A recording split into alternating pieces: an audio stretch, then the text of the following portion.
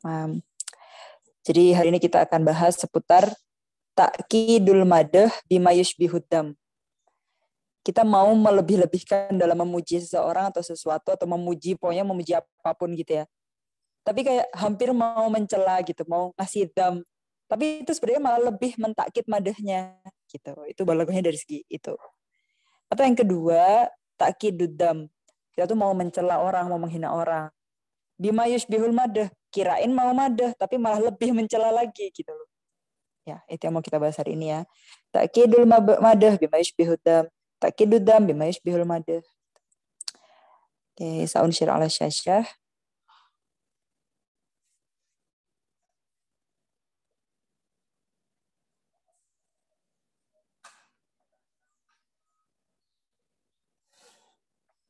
Oke. Okay. Hada huwa, ini termasuk muhasinat ma'nawiyah atau lafdiyah kira-kira. Syuftum ala syasyasa dari kitab ala syakli PDF. Al-Babatasi. Syuftum? Naam Ustazah. Nah. Uh, ahada ahada al-bab min muhasinat lafdiyah atau ma'nawiyah. Kira-kira kalau kita mentakit madah bima bihudam atau sebaliknya, takidul madam bima bihul madah itu sebenarnya bagus dari segi lafal atau makna kira-kira.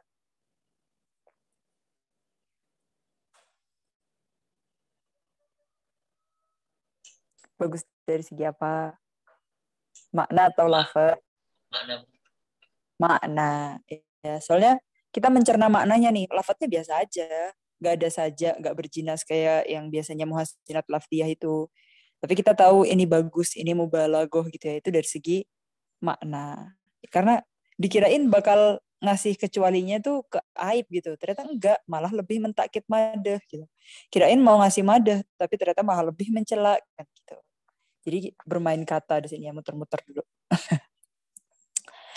Inna dzauqas salima mizan liidrakil madhi awidami fil kalam. Ya, jadi dengan dauk ya, kepekaan ya, indera rasa. Dauknya di sini dauk peka ya.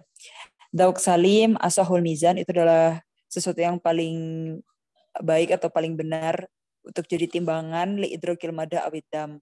Jadi kepekaan kita dauk salim itu yang bisa nilai oh ini tuh lagi madah, ini lagi dam gitu kan wa man ni'talla dawku lisanihi aw wijdanihi ta'ibat fihi al-aqawil wa lam uh, yajidhu an nusrifa fit taksim wa ta'lil fal nabda bil amsal wal nada wal nada al kil wal qol Oke, jadi kalau yang dauknya sakit, eh, tala kan alil ya, alil sama kemarit gitu lah. Kalau dauknya itu nggak peka gitu ya, wa wa man italla dauku lisanihi. Jadi nggak peka dari segi indranya atau lisannya itu nggak peka tak ibat fihil akawil dia pasti uh, lelah gitu. Bermain kata ya akawil perbincangan obrolan gitu gitu. Kaul dari kata kaul juga. Terus dia ya udah pokoknya intinya kita nggak berpanjang lebar lagi kita falnab dapil amsal kita langsung mulai aja lihat misalnya ya di sini ya. Contohnya yusihu eh sohayasihu. Yasihu bai utin. Nah, jadi ada penjual buah tin ya. Biasanya kalau lagi musim musim apa ya? Musim panas kayaknya. Iya musim panas tuh biasanya di Mesir banyak banget yang namanya tin syaukah. Nanti kalian harus nyoba ya. Tapi jangan beli tin syaukah yang belum dikupas minta baiknya apa ngupasin gitu. jadi kita beli udah dikupas gitu. Tinggal ntar kita cuci ulang gitu di rumah. Itu yang namanya tin syaukah. Nah jadi ya sih Hubai Utin penjual buah tin itu dia uh, teriak-teriak gitu ya, bersuara lantang. Ahla minal asal ya tin. Nah, gitu. Jadi ahla minal asal. Jadi tinnya ini manis banget, lebih manis daripada uh, daripada asal, daripada madu. Ya. Fekunu kalamuhu kana madhan. Eh, kan ini kan ini kan berarti ini ya memadah ya, memuji yaitu tinnya di sini tuh lebih manis daripada madu gitu khalisun aslian dalaunin wahid. Huwa wasfutin bisyiddatil halawah. Itu manis banget tinnya. Kita sifatkan tin itu manis banget pokoknya. Walaysa fi dhahiri ta'birihi syai' min raihatid dam aslan. Dan di sini laun wahid aja kan. Maksudnya satu satu warna aja di sini, madah-madah doang gitu. dan di sini nggak ada roihah dam nggak ada bau-bau nggak ada rasa-rasa bakal mau mencaci maki atau mencelatin itu tadi. Soalnya ya udah lawan wahid madah aja. Ahla minal asal yatin gitu kan. Amma idza tala aba filafti kalau orang bermain kata nih eh wa ta'anna fi ta'birihi fanada ya ma'aibuhu illa tayyibuhu yatin. Nah, jadi misalnya jadi kalau misalkan cuma satu lawan aja maksudnya datar aja gitu madah ya udah madah doang ahlam minal asal selesai Nah, tapi kalau misalkan dia mau bermain-main kata, eh, ma'aibuhu illa tayyibuhu. Jadi dia nggak punya aib, kebaikannya tuh udah jadi aib. Jadi saking nggak ada aibnya, dia cuma punya baik doang gitu lah. Ma'aibuhu illa tayyib. Jadi aibuhu tuh tayyibuhu. Kekurangannya dia pun bagi yang lain itu masih baik gitu loh, saya kan. Itu yang bisa, yang bermain kata di situ. Kita mau ngucapin aib, bahkan setingkat sesuatu yang jadi aibnya dia itu masih masih baik gitu, masih positif gitu, masih toyib gitu.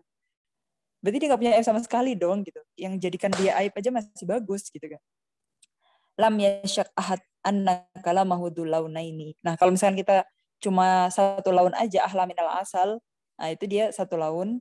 Nah, terus kalau misalkan dua laun, contohnya yang kita bilang bahkan aibnya pun masih bagus gitu kan. Ma'aibhu ila tayyibu lam yasyak orang nggak bakalan nggak bakalan ragu lagi gitu. Ya pokoknya intinya itu ada dua laun amma dohiruhu fadam wa nah, seakan kita ngomongin secara dohir kita ngomongin aib ya kan? Wa amma batinuhu fal madah tapi sebenarnya itu madah ya kan? Orang aibnya dia aja kekurangannya dia aja masih baik gitu loh. Dalam standar standar uh, orang umum gitu. Soalnya waktu kita bilang orang dia orang yang pinter kecuali dia kaya. Kan pinter hal yang positif. Kaya juga hal yang positif. Dan di standar mujtama, di standar masyarakat umum itu bukan aib, itu malah sesuatu yang kelebihan gitu kan. Itu bukan kekurangan tapi itu kelebihan.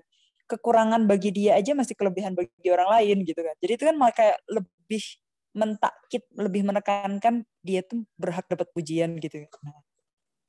Soalnya secara dohir itu dam, padahal secara batin itu madah muakat itu lebih sangat-sangat memuji gitu kan. Hinama dakaro al hinama dukiro al aib wa hasarahu fit Padahal dia itu menyebutkan suatu aib, mau menyebutkan suatu aib, tapi ternyata itu adalah sesuatu yang baik gitu.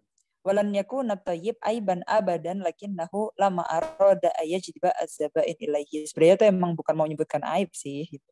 Tapi emang buat menarik perkataan aja, buat main kata aja gitu.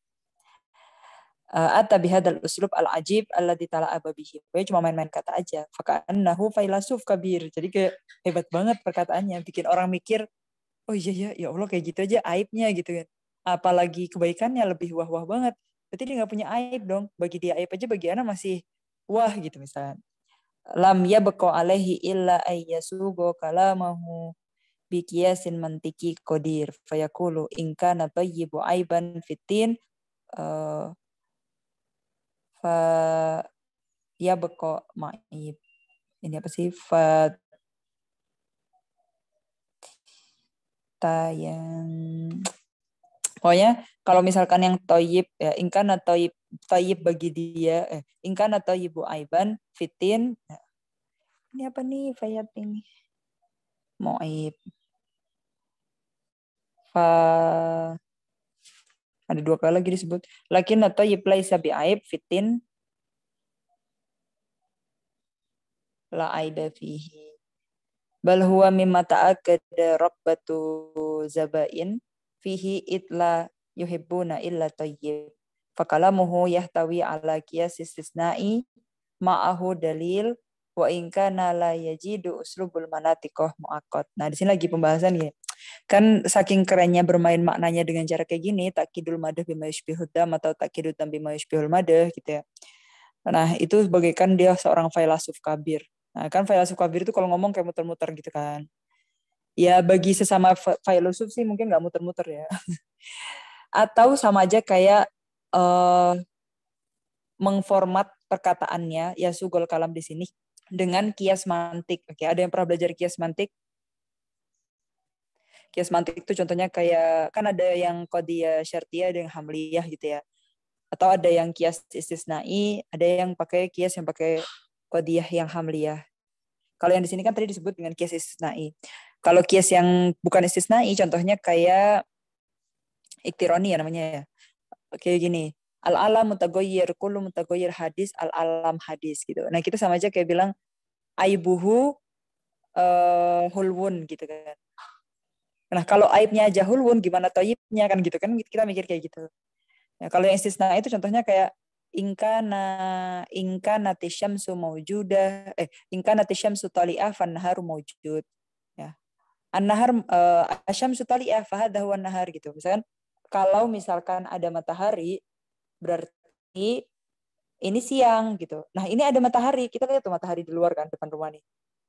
Berarti hari ini lagi lagi hari bukan malam gitu loh siang bukan malam gitu. Ya gini jadi kita kayak mikir kesesnai kalau misalkan kebaikannya itu eh kalau misalkan uh, kebaikan dia itu jadi aib ya misalkan dia waktu ditanya aibmu apa? Aibku aku terlalu cantik misalkan kayak gitu. Nah kalau terlalu cantik aja jadi aibnya kalau toyib sesuatu yang baik aja jadi aibnya nah gimana gimana baiknya gitu kan? Berarti dia nggak punya aib sama sekali dong kayak gitu lah Lakin nanti place tabi aib. Dan hal yang baik misalkan aibku adalah terlalu cantik misalnya gitu ya.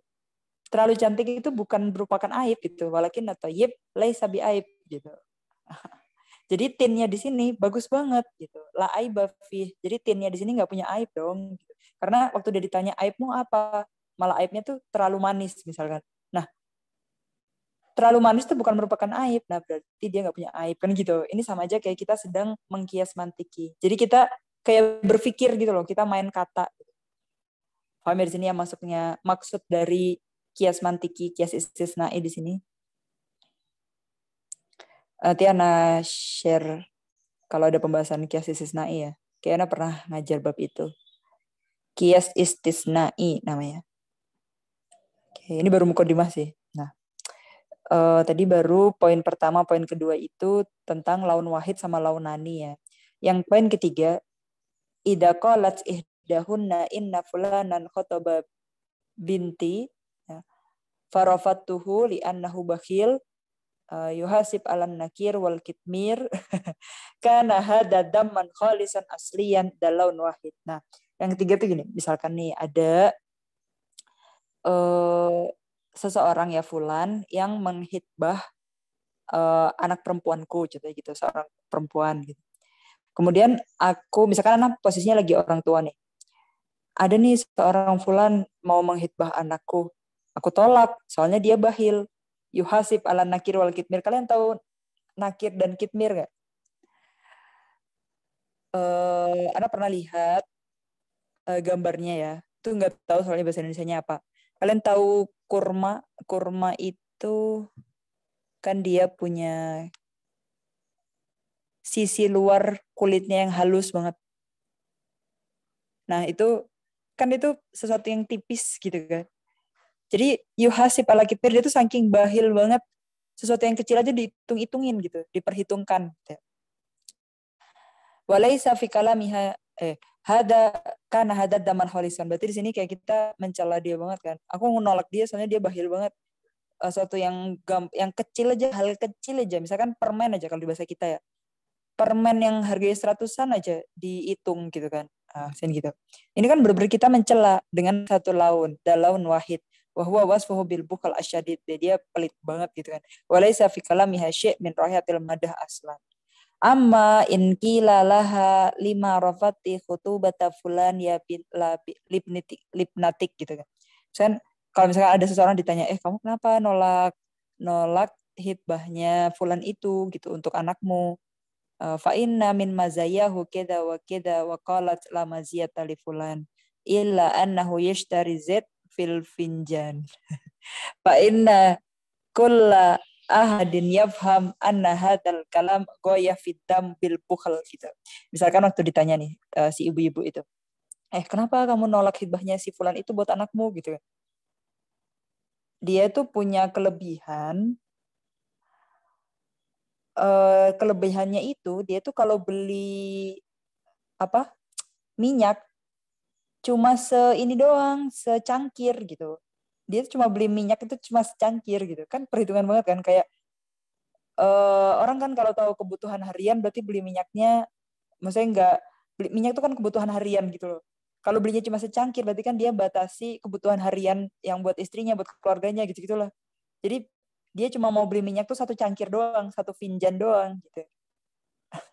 itu kan berarti kira-kira itu dia memuji nyebutkan maziyah atau nyebutkan aib tuh kayak gitu.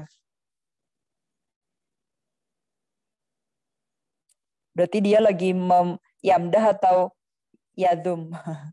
lagi dam atau lagi madah nyebutin aib. Iya lagi nyebutin aib, tapi dia pakai kata-kata apa? Maziahnya dia itu, ya, maziah dia itu cuman beli, cuma bisa beli zayat, cuma bisa beli minyak satu cangkir gitu loh. Jadi sebenarnya itu goyah fidam bil bukal wa taktir wa ingkana dohiruhu uh, dikrul maziyah wal madu. Seakan dia mau nyebutin maziyah, tapi ternyata apa isinya? Um, Walakin halam tarut illal haza wa suhri. Padahal dia sih cuma mengejek aja, ya, cuma sakhor cuma mengejek fatala abad fil uslu badamatuhu daman muakkad dan aliman dan sebenarnya uh, damnya di sini tuh lebih menyakitkan ya aliman oke okay. fahimtum an takkid jadi yang nomor satu nomor dua itu tuh takkidul madah yang nomor dua ya takkidul madah bima dam kalau misalkan yang nomor satu kan cuma ahla minal asal itu cuma madah biasa satu laun kalau yang dua itu takkidul madah bima dam kalau yang nomor tiga itu cuma satu laun aja. Dia bahil uh, sangat perhitungan dengan hal kecil. Nah itu kan dia satu laun. Nah kalau misalkan aku nolak dia karena dia tuh punya kelebihan kalau beli minyak cuma satu cangkir. Nah kayak gitu loh itu kan sangat-sangat mendam itu. Aku nolak dia soalnya dia itu kalau beli beli makanan cuma nasi kucing, misalnya kayak gitu kalau di bahasa kita kira-kira kayak gitu ya. Tamam, fahimtum. Dia cuma ngasih uang makan seribu, misalnya kayak gitu-gitu loh. Itu kelebihannya dia, kayak gitu loh. ya Allah, kelebihannya dia aja berupa aib, apalagi ya berarti parah banget kan gitu loh seakan. Fahimtum, jelas ya di sini ya. Takidul mada bima yushbihu dam wa aksuhu. Akasnya berarti takidul dam bima yushbihu madi. Ada yang mau coba ngasih contoh? Boleh pakai bahasa Indonesia, boleh pakai bahasa Arab deh. dulu. Hari ini kita bahas itu aja ya. Saza kalau misalnya dia bilang kesalahanmu adalah kamu tidak punya kesalahan itu masuk mana saja? Iya bisa juga. Jadi seakan dia mau nyebutin aib kan, mau nyebutin kesalahan atau kekurangan. Ya. Tapi dia kurang membalago lagi, harusnya nyebutin kesalahanmu adalah kamu terlalu cantik, kan kayak gitu. Itu jelas nanti apa madahnya di mananya. Itu termasuk udah kesalahanmu adalah kamu tidak punya kesalahan gitu. Kayak jalan sekarang kan banyak kan quotes-quotes kayak gitu. Kesalahanku adalah terlalu mencintaimu lah misalnya kayak gitu-gitu. Uh, aibmu adalah gitu-gitu kan. Kesalahanmu adalah kamu telah mencuri hatiku lah kayak gitu-gitu loh. kan itu kan kayak mencuri itu kan yang negatif gitu. Tapi pada itu hal yang positif ya enggak? Banyak loh bahasa Indonesia kayak gitu sering make zaman sekarang apalagi lihat quotes-quotes di Instagram ya. Ada yang mau coba bikin lagi? Bener tadi termasuk kok. Berarti dia kidul madah bimayush bihudam. Dia mau mau memuji kalau dia orang yang gak punya salah. Tapi dia memulainya dengan kayak mau bilang aib kesalahanmu adalah itu kan yang ditunggu-tunggu titik-titiknya itu berarti kesalahanmu adalah uh, kamu ceroboh misalkan enggak kesalahanmu adalah kamu gak punya kesalahan malah kayak gitu kan jadi itu kayak sesuatu aib kamu gak punya kesalahan Paham ya sampai sini ya? Ada yang mau coba bikin lagi? Contoh? Masa kalian nggak pernah bikin usul kayak gitu? Buat story-story gitu? Atau biasanya di Twitter banyak nih. Twitter kan kayak kumpulan kata-kata manis, galau, campur aduk gitu. eh, zaman kalian masih banyak yang pakai Twitter nggak? Maksudnya anak zaman kalian. Gimana dia mau kasih contoh lagi? Paham ya pokoknya. Tadi ada yang mau ada yang bacain contoh itu berarti udah paham.